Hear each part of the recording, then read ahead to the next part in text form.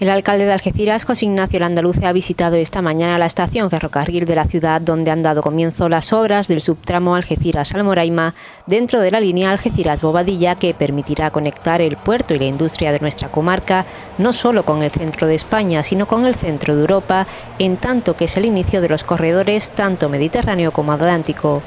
En este sentido, desde esta mañana a las 7 comenzaban a marcarse los puntos donde se va a ejecutar la obra que va a tener diversas actuaciones en distintos puntos del trazado. Pero se va a empezar por las actuaciones en el trazado y las traviesas que se van a desarrollar en Algeciras, tal y como el andaluce había solicitado al ministro de Fomento, Íñigo de la Serna, y al presidente y la directora general de Explotación y Construcción de ADIF, Juan Bravo Isabel Pardo, por lo emblemático y simbólico de que es este kilómetro cero de la red. Empieza, como pedí, por Algeciras. Empieza por lo emblemático, por la eh, necesidad que tiene para poder crecer eh, nuestro puerto, para poder crecer nuestras industrias de la bahía, la mejora del trazado ferroviario, pero también para poder dar más y mejor servicio a los pasajeros que quieren utilizar el tren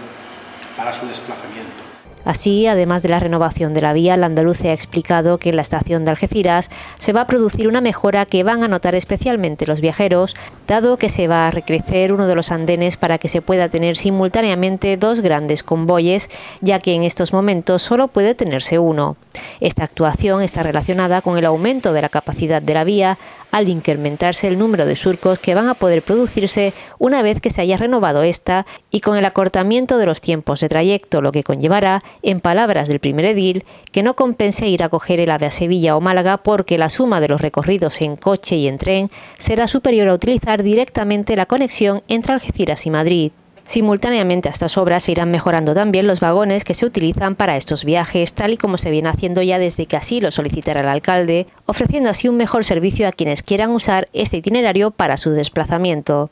Por otro lado, la andaluza ha anunciado que en las próximas semanas se iniciarán también los trabajos de cambio de traviesas, las cuales están ya dispuestas a lo largo de todo el recorrido Algeciras-Almoraima, a falta de dos convoyes de raíles y otros dos de traviesas. Todas estas tienen tres surcos para guiar el camino de tres raíles, lo que permitirá su uso por trenes de ancho tanto internacional como ibérico. Esta renovación se sumará a otras actuaciones también de gran envergadura, como la construcción de un nuevo puente sobre cauces fluviales o la mejora del Barastro, piedra sobre el que se asientan las traviesas con más de 5 millones de euros de material. El alcalde ha indicado que estas obras que conllevan soldadura comenzarán a mediados del mes de septiembre, dado que hasta entonces no está permitido realizarlos por el riesgo de incendio ante las altas temperaturas, a pesar de los amplios cortafuegos de los que dispone Adif a ambos lados de la vía. La andaluce se ha mostrado contento por este inicio de los trabajos que sitúan a agosto del 2017 como fecha de reanudación de la ansiada Algeciras Bobadilla,